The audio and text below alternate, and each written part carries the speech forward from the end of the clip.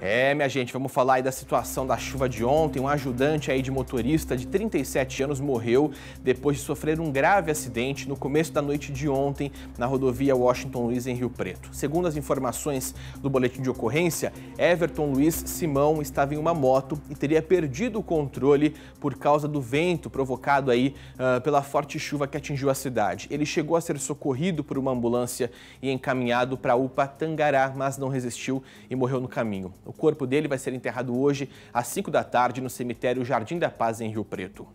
E a mesma chuva forte de ontem à tarde derrubou árvores e deixou ruas e avenidas alagadas. Em Catanduva choveu até granizo. Felizmente ninguém ficou ferido. Na Avenida Juscelino Kubitschek, na zona sul da cidade, uma árvore caiu no meio da pista, impedindo a passagem dos carros. Teve gente que precisou passar pela calçada para atravessar para o outro lado.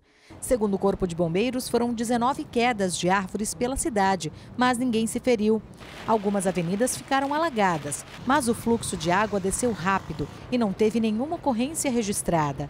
Em Olímpia, choveu granizo. Carros foram atingidos e o córrego dos olhos d'água transbordou. Na Avenida Aurora Forte Neves, a água quase levou um motoqueiro, mas ele conseguiu sair da enxurrada. É, só corrigindo, falei que foi em Catanduva, mas foi em Olímpia, né? Essa chuva de granizo que a gente mostrou o tamanho da pedra de gelo que foi parar e atingiu aí veículo.